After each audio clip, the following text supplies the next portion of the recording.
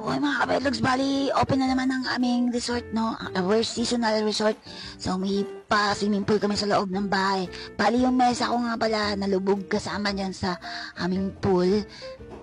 Sa magkakarpentero ko kasi nasira siya. Alam mo yung kahoy na pag nabasa, nasisira, marupok. Ikaw yun, marupok ka kasi. Pag nabasa, rupok mo eh. So ang swerte ko naman, no, paglabas ko sa bahay namin, pagkatapos ng bahay, nagtapon ng plywood. Pinulot ko ngayon. Pinulot ko, take note ha, hindi ko ninakaw po yan. Pinulot ko kasi nandun lang sa labas ng bahay namin. So pinulot ko na siya. Again, hindi ko siya ninakaw. So nakita niyo naman, may mga parts na talagang sira na siya kaya si Dutin at naisip ng itapon ng mayaman kong kapitbahay. Kaya, ayan, napaswerte lang na kailangan ko ng kahoy.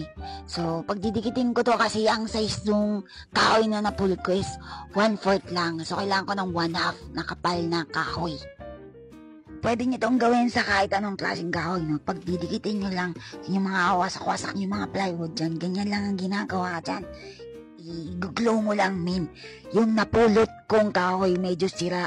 Napulot, ha? Tiktot. Ilalagay mo ngayon, isisiksik mo ngayon yung mga kahoy dyan, o yan. Tsaka, tsaka, nauutal ako, men. Tsaka mo, yan, yan, susok-sok mo yan. Pipili ka na medyo maganda. Susok mo, baby. Tapos lagyan mo ng ano, ng wood glue okay na yun, goods na uli yan. Maganda na uli yung plywood. So, wala akong katulad ng mga, yung katulad ng mga woodworkers na yung clamps. Wala akong ganon, min. Wala akong budget sa ganon. So, kung ano lang yung pwede mong ipatong dyan, katulad ng mga weights, yan. Pwede na yan, para magdikit sila maigi. Then, leave it for 24 hours. Okay din lang gamitin ng mga plates eh, para ka lang nag-workout. Ito nga pala yung kutsilyo ko na pinang-hold up ko minsan. Pero ngayon, gagamitin ko siya pang pangkaskas o pantanggal ng lumang pintura. Very useful talaga to all around to. Pwede mo isaksak sa kaway mo. Pwede mo rin gamitin ng ganito. Nilinisin mo yung bakal. Pwede mo rin parentahan yung kutsilyo kong yun. Gusto mo rentahan, okay lang. So, ayan, pipinturahan natin muna ng primer, tol. Hindi tayo savage, man. Kailangan may primer yung bakal. Tapos, pagkatapos yan, pipinturahan mo na ngayon ng color black. Kasi color black ka yung panong mesa ko. Yan, pipinturahan mo. Pero yung pag mag spray paint ka, pag gagamit ka ng spray paint, dapat dahan-dahan lang, men. Unti-unti lang. Huwag mong bibiglayin, tol. Maluluwa ka. I mean, magkakaluwa yung, ano, yung, yung pangit, men. Kasi yung pangit na nang naniningil sa utang. Kaya ako kasi huwag kang magpapautang, men. フフフフ。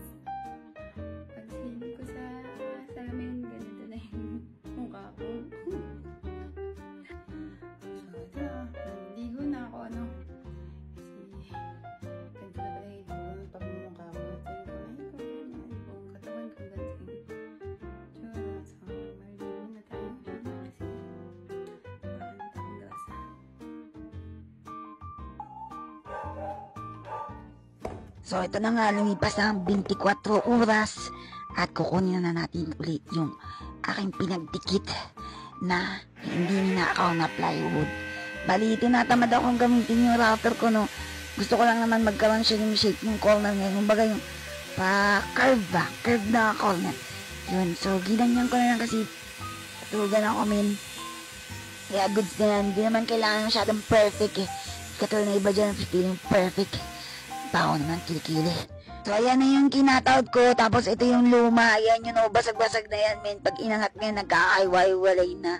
Parang gago, kakaiwalay. Parang kayong tanga. Sitsitan kayo, tapos maghiwalay rin kayo. Ay, iba pa yung topic yun, ano. So, ayan, in-screw ko na yung aluminum na, na parang, ang tawag ba dyan? Corner, ganyan. Yan, tamang latero lang, men. Yan, pukpukin mo lang. Tamang pukpuk lang tayo, men. Gumamit ka ng ano ng ganito yung malit.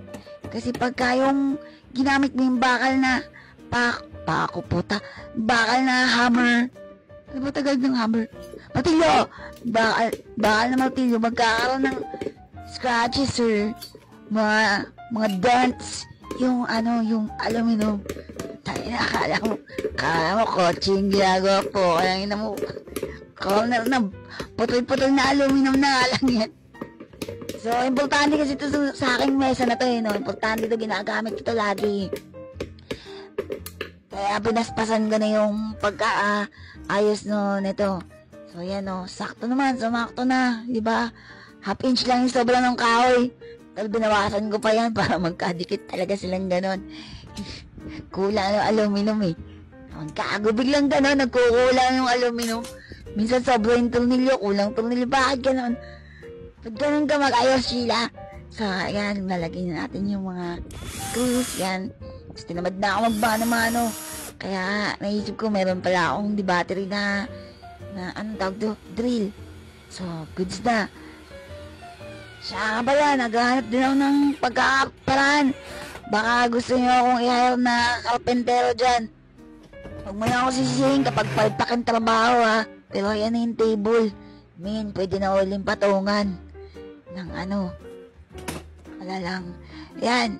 Kung umabot ka dito, salamat sa pagpanood dito. Tsaka share mo na rin para kumita naman tayo dito sa Facebook. Puka nang ina eh. Yun lang, bye!